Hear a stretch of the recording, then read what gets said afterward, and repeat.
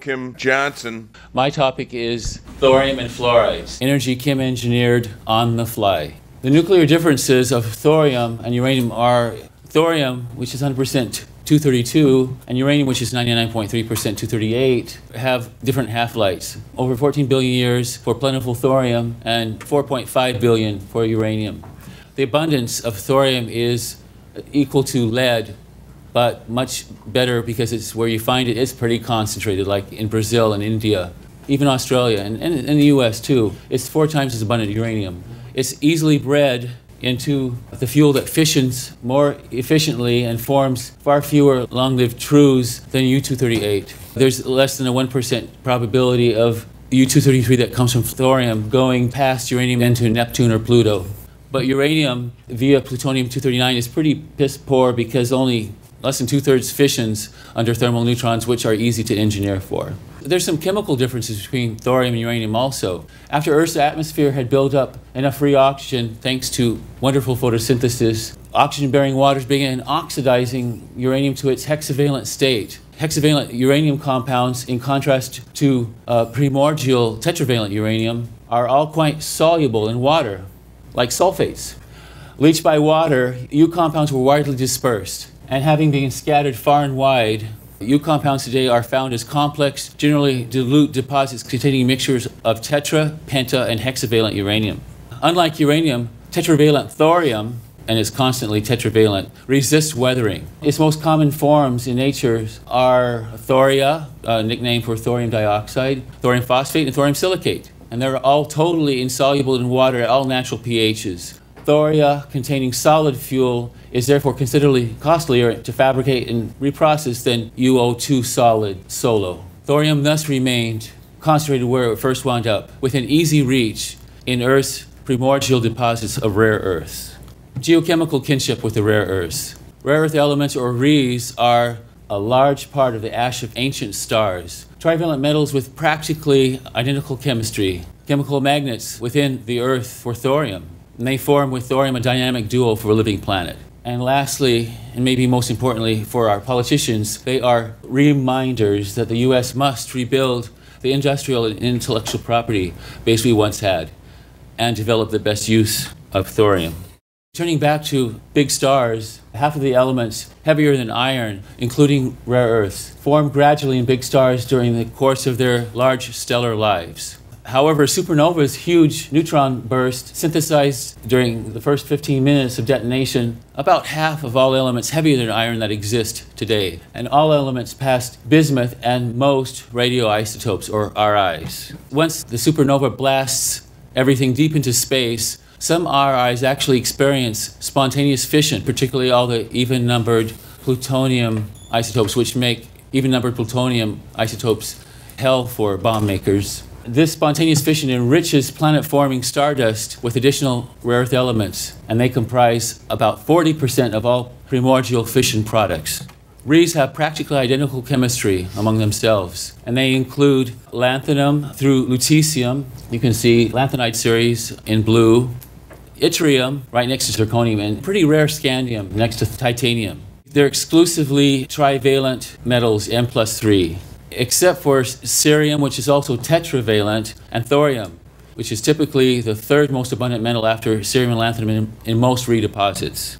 Very importantly for our lives, REEs are chemical magnets for thorium. The early molten earth crystallized from the base of its primordial mantle upward. REEs weren't chemically compatible with most everything in the Earth's crust, and neither was uranium or thorium dioxides. The red last to freeze layer just under the thin new Earth's crust is largely rare earth gathered radioisotopes. And that froze. And sometime after 50 million years of age, that primordial crust cooled, lost buoyancy, began to subduct into the now solid mantle.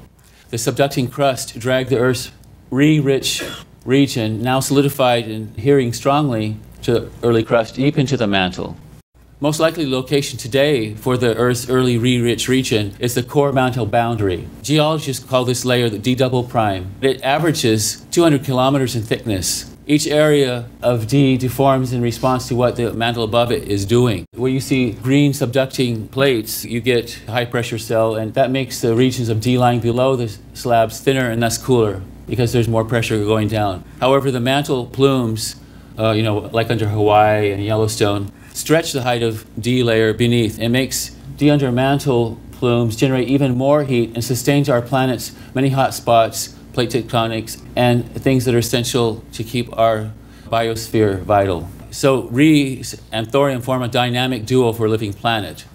Dynamic core. Molten metal iron moving in complex convection currents is the mechanism for geomagnetism. Enabling this long-lasting convection are thorium, uranium, and potassium 40 in REE-rich D resting on the iron core two to four billion years ago, uranium and potassium generated up to 80% of this decay heat. However, it is long lived thorium that provides the bulk of our RI heating that sustains geomagnetism today. And this resulting magnetic field sustains life by deflecting the solar wind and keeping it from stripping away our atmosphere and water. The lack of thorium was the kiss of death for this lovely planet it wasn't endowed with enough thorium and other RIs to slow its internal cooling enough. So Mars suffered iron core solidification. This shut down Mars' magnetic field. 99% of its atmosphere and practically all water upon the surface of the red planet. A Loss to the solar wind. Fortunately, we live on a well endowed planet.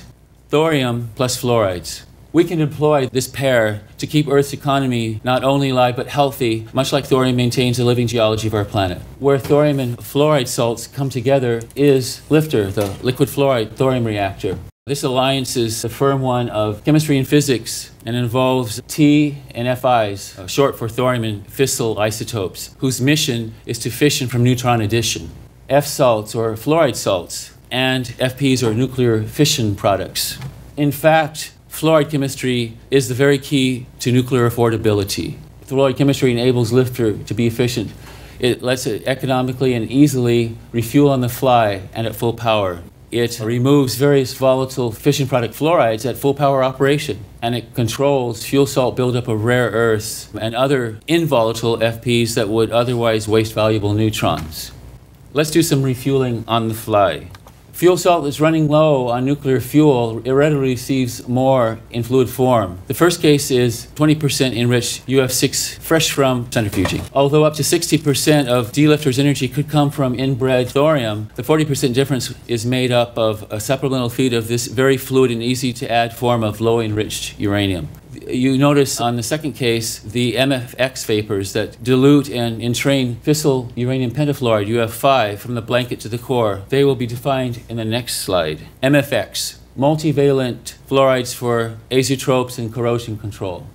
Ms, or metals and or metalloids, chosen from the shaded elements you see here, fill the bill, either chemically and or physically. A typical example of a versatile MFX is antimony pentafluoride, or SBF5. In the liquid phase, it's self-ionized, forming tetrafluoroantimonium hexafluoroantimonate. So it's easier to say just liquid SBF5. In the vapor phase, SBF5, like all of these other MFXs, form dimers and trimers that tend to entrain other higher fluorides. Like a vapor phase over, you know, hot boiling SBF5 and it'll stay in the fuel salt, you know, to a few percent if you want it to, without pressurization. You see how the structure is like, you know, little kitty toys where you stick things together like um, beads. And it can sandwich in between uranium pentafluoride, which is not nearly as volatile as hexafluoride, but it's a pentafluoride, so, it, you know, it's like a, a, you know, similar twin.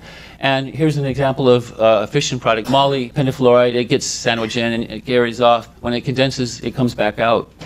We can also use MFX to control corrosion in the fuel salt. Reducing the oxidation state of MFX to MFX minus 1 greatly reduces corrosion from fission products in the fuel salt. With uh, the fuel salt kept slightly reducing, Hastelloy and other valuable materials construction is protected from grain boundary corrosion. Here's reduced form of MF4. It's an equilibrium between metal bonds with you know four fluorines on each, or it can disproportionate to MF3 and MF5 And the MF3 has a lone electron pair, which is very promiscuous and kind of looks at the MF5 to make the MF5 think it's MF6 or something like that. It just sticks onto anything like a naked fluoride ion. The slightly reducing fuel salt protects structures by tying up as complex anions elemental fission products that would otherwise compromise structures. Now, the nasty fission products, you know, in the early days of MSR research, were not the halogen FPs. You know, you've heard of halogens, you know, fluorine, chlorine, bromine. Well, we do get bromine and iodine as major fission products, but we also get even more because they're even numbered elements, even numbered protons. Selenium and tellurium, they're known as the chalcogens, the chalcogen FPs. When a reduced MFX sees a polymeric mess of tellurium and selenium because they think they're siblings, you know, they're long chain polymers, not volatile at all, they played out onto an attack nickel grain boundaries because they'd rather be a telluride or a selenide, and uh, they think they're bearing, you know, making copper, selenium, and sulfur compounds. It actually makes this insoluble chalcogen chain into something ionic, positive charge on the MF3 and a negative charge on the end of the tellurium tail. So they're soluble in salts and they stay away from our valuable nickel alloys until we can fluorinate them out. We want to hold on to the tellurium too. So a lot of guys pay ridiculous amounts for it for like solar power. here, is, here is the top 10 neutron absorbing fission products versus all other, and this is a solid zirconium rod case, unfortunately. That's the data that Jess Gehin of Oak Ridge provided, and you can see the big line starts around 65% goes down. That's nasty xenon 135. And the next worst thing, the yellow line is samarium, not a good Samaritan. Here's something more enlightened from France, although they're operating in an epithermal spectrum. Here's the elemental molten salt reactor inventory. Elements 34 and 36, selenium and krypton are missing, but not bromine, because bromine forms an anion, so it is kind of like a weak chloride or fluoride anion. You see a number 40, the really big peak? Zirconium was one of our major fission products, but we can't really sell that because a lot of it's radioactive. You know, there's uses for all these things, in they're and the ones that are missing were just removed from simple fluorination and sparging with whatever inert gas you care to do. Or you could use MFX to sparge them and save on helium. This is from the French research team headed by Elsa Merle. This is with noble and fluorinatable or effable fission products only periodically removed. And the worst thing that remains is this giant samarium pane, neodymium, and then promethium, which is good for batteries and medical stuff. And you won't get it from any other reactors except LFTR easily. And since they're fluorides, and you can use low melting fluoride salts like silanyl fluorides, you can separate these, you know, have to get them out of the reactor and then sell them to whomever, if, you know, if there's a market. With adequate chemical engineering, thorium and fluorides make a really good system and you can adjust it on the fly without pushing and pulling mechanical stuff. Uh, are there any questions? So, like Solar City, are you gonna are you gonna plan to offer uh, lease only, no down payment LFTRs? Well, I'm not in the business, and I'm only on the technical end. That's that's up to people like Kirk and Jim and other guys.